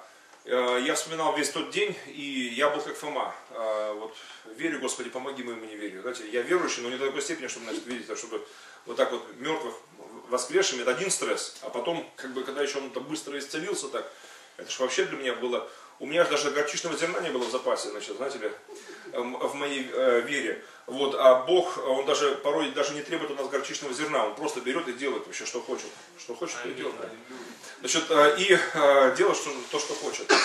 И вот, и, э, но три раза это же самое звучало, И я ничего не мог говорить ему, только говорил, да, Господи. А потом тот же самый голос также громко сказал следующее. Вот так будет и с церковью. Представляете? И все. Воскрешу, да? Как? Воскрешу. Ну, наверное, да. Ничего больше не... э, Вот я то, что... За что купил, зато продал, как говорится. Вот голос звучал так. Вот так будет и с церковью. Все. А, а уже, кстати, потом, да, уже потом, когда уже ехал ближе к Киеву, вот знаете ли, э, как будто бы навязчивая мысль такая, одно и то же местописание, десятки, десятки раз одно и то же местописание, это 11.25 э, Иоанна, А, э, что «Я есть им воскресение». Десятки раз, представьте, одно и то же, навязчивая мысль такая, Э, Иоанн 11 глава, помните, да? Э, Иисус говорил, «Я есть им воскресение». Я есть им воскресенье. И не скучно совершенно было мне вспоминать это все. А, по- а потом, дальше, знаете ли, тоже десятки раз навязчивая такая мысль. Я есть им воскресенье и жизнь. Я есть им воскресенье и жизнь. А там есть такой поворот, э, Черниговская трасса, там Киптин называется, поселок. И дальше прямая дорога на Киев уже. Э, Она все время и днем, и ночью забита. Фактически, значит, э, и если я еду поздним вечером, почти ночью уже, вот она пустая вообще, я был в шоке. Знаете, как специально Бог так взял, чух, как, как Брюс Всемогущий, знаете, машину всех чух, убрал так. Я еду дальше и, значит, и слышу, ну, моя мысль, это не было громко уже, но вот внутри как бы включилось это все. А, Значит, э, и мысль такая, и верующий в меня, даже если умрет, оживет. Не совсем по переводу синодальному, но вот, так вот было, а, звучало. И верующий в меня, даже если умрет, оживет. Одна и та же мысль. И только пост ГАИ проехал, уже в Киев въехал, когда прекратилось это все навязчивое воспоминание одного того- же текста Писания. И знаете, а, меня Бог исцелил тогда, а, тем днем, я об этом уже понял только лишь на следующий день, уже на следующее утро, ну утром уже, рано встали, и я понял, что меня Бог исцелил внутри, где-то глубоко внутри, душевно. А, Потому как, честно говоря, я в тот, накануне а, хотел оставить свое служение, и а, у меня были такие дембельские настроения такие. А, Значит, и я думал, что я оста- оставляю свое служение и больше не буду вести его. И мне стало так хорошо, легко вдруг, так приятно, радостно, что надо же все, сп- спали с моих плеч, что я рожал всех этих православных, что как бы, вот, и э, знаете ли, что так, за- как, как мамочка за ними ходить. Вот, значит, э, и, э, и когда это все произошло, э, я внутри э, просто понял, что я исцелен.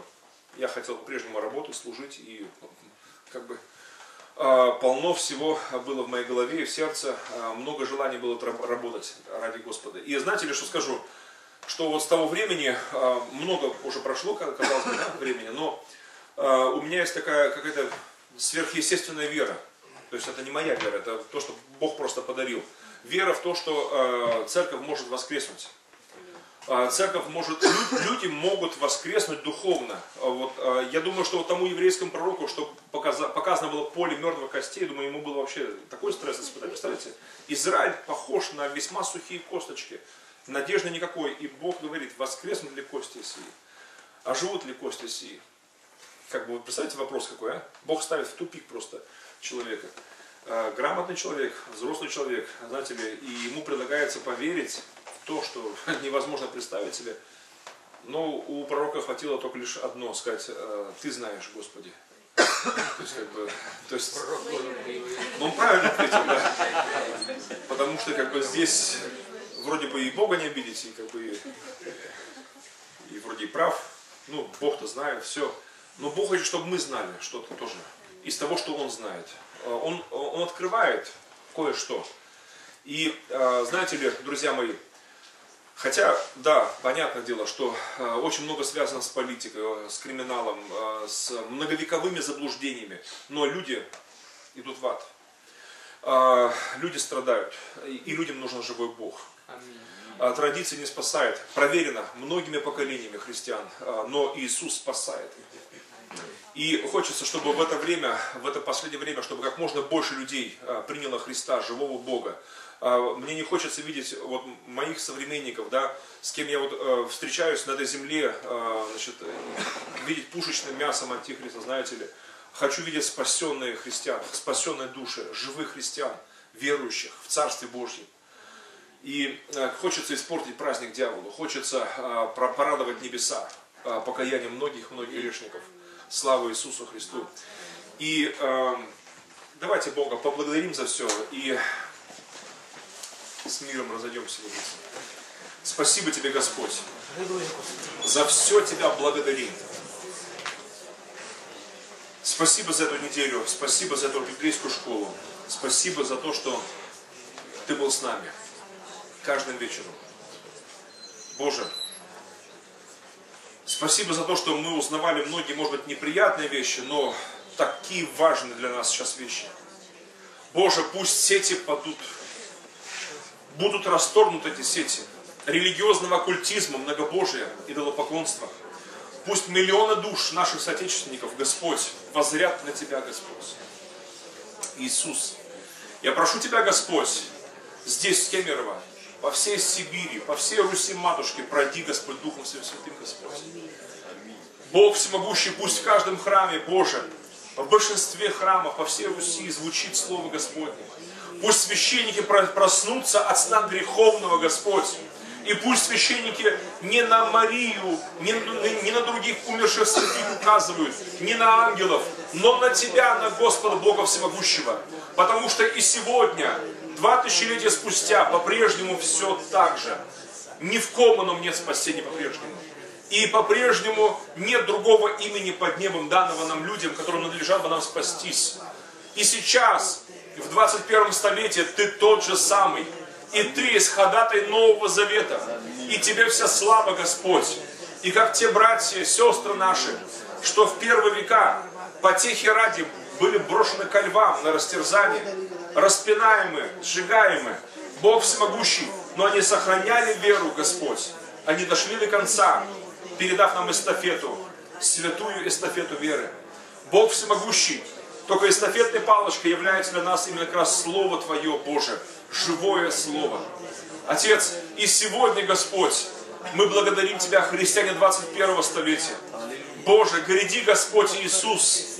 Пусть в это последнее время и Дух, и невеста говорят одно и то же. Не так, как было в прежние столетия, кто в лес, кто по дрова. Дух говорил одно, церковь говорила другое. Но пусть в это время и Дух, и невеста говорят одно и то же. Пусть будет блаженное единство, Господь, с Твоим Духом Святым, Церкви Твоей. Во имя Иисуса Христа. Блудница постыжена, поражена. И я знаю, Господь, что грядет еще большее постыжение и поражение блудницы. Церкви как блудницы, как вертепа разбойников. Но будет прославление Церкви Твоей как невесты, как святой, единственный Твоей Господь, возлюбленный. Бог всемогущий, пусть наши сердца всегда, Господь, будут полны Тобою. И пусть глаза нашей веры взирают на Тебя, Господь, всегда. А если где мы сбиваемся с пути, Боже, вправо, влево, возвращай нас на путь истинный, Господь. И зри, не на опасном ли мы пути, и направь нас на путь вечный. Во имя Иисуса Христа, я прошу Тебя, Господь, также за наших телезрителей, прошу Тебя, Господь Боже, дай, Господь, покаяние грешникам, исцеление больным, протяни свою руку помощи, Господь, скорой своей помощи во имя Иисуса Христа. Но самое главное прошу, Господь, за тех, кто опьянен религиозным дурманом, Бог, пусть придет освобождение, особенно к священнослужителям. Пусть не слепые ведут слепых в преисподнюю, но прозревшие ведут прозревших в Царство Твое святое. Благословен Ты, Бог наш, во имя Иисуса Христа. Аминь. Аминь. Аминь. Аминь.